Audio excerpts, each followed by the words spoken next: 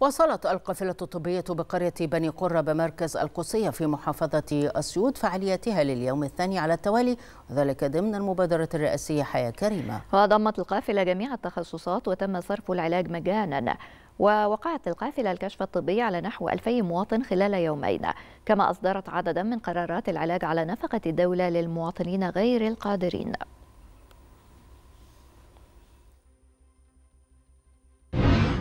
عندنا في القوافل الطبية بنعمل كل أنواع الأشعة العادية شاملة أشعات على الأطراف وأشعة على الصدر وأشعة على البطن وعلى الفقرات القطنية العجزية وعلى كل الأشعات اللي بيطلبها دكتور الجراحة أو دكتور المسالك أو طبعا دكتور العظام أو دكتور البطنة. كل التخصصات دي إحنا بنعمل الأشعات بتاعتها وأشعات الأطفال والأشعات كلها بالمجان لجميع التخصصات.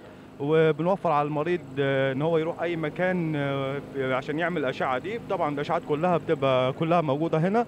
الأدوية كتيرة ومتوفرة عندنا مخزون ست شهور.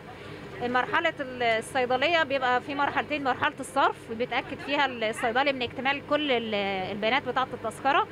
علشان هو المرحلة الأخيرة الصيدليه هي المرحلة الأخيرة بتاعة المريض. فأي حاجة لو نسي تحليل نسي تحويل بيوجهه ليها. وبعد كده بي بيصرف له العلاج وبيعلم له عليه بالقلم البيرمننت عشان يتأكد إن هو فهم الدواء كويس جدا.